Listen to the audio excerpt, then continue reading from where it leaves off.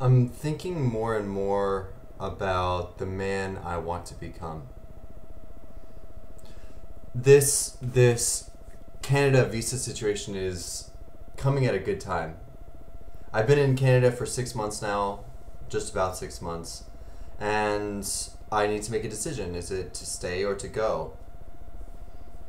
And I've been thinking a lot about the direction that I'm going to be taking, how I can integrate each of the actions that I'm taking in in pursuit of this in pursuit of this singular goal, this singular goal which is to become my higher self, to become more than I am now, forsaking the elements of my current state in life that no longer serve me so that I can become something else.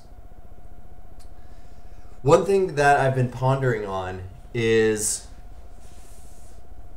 who that that man is, what it is that he's good at, what it is that he is capable of. I've always wanted to be multilingual. That was why I learned Chinese. But I never wanted to stop at Chinese. I always wanted more.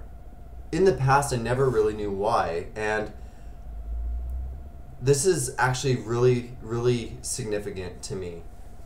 I think I've discovered one of one of the most profound sources of significance in the world. It's not about having a strong why. That's what that's what everybody online talks about. You need to know what your why is. But there's actually a different way to think about it that's much more powerful, and that is is this goal that I have right now connected to every other goal that I have? The reason that we stop doing things, in my experience, is because we don't see the purpose of it after an extended period of time. Like, if we want to get better at something, we'll try it. It didn't successfully integrate into our life, so we stopped. Mm, I think that everybody is guilty of this in some way or another. I'm guilty of it for instruments, I'm guilty of it for languages. I pick them up, I try them, then I stop because they didn't mean enough to me. They weren't integrated into the image that I had of myself in the future. I didn't want to just set a goal and accomplish it for the sake of accomplishing it because it's a lot of hard work to get good at an instrument or a language.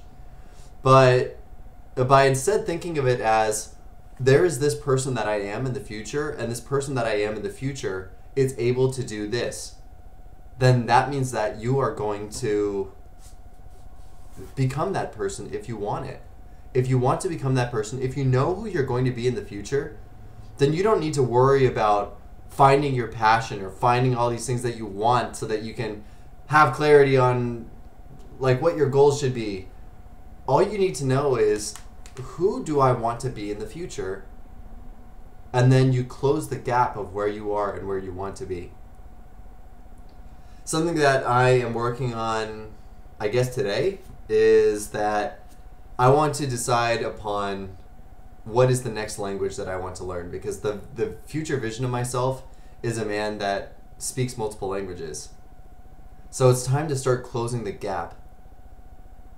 I never knew why in the past I wanted to learn multiple languages. I think I explained that in another video. Like why did I learn Chinese? I really don't know. But I later discovered why is to unlock the world. So I need more languages so that I can unlock more of the world and I'll continue to develop my sales skill so that I can improve my communication skills with these people around the world. And then what it's building up to is it's a grand, glorious vision of what the future will be like for me. So, goal for today is to choose the next language that I'm going to learn. And I'll share that with you tomorrow.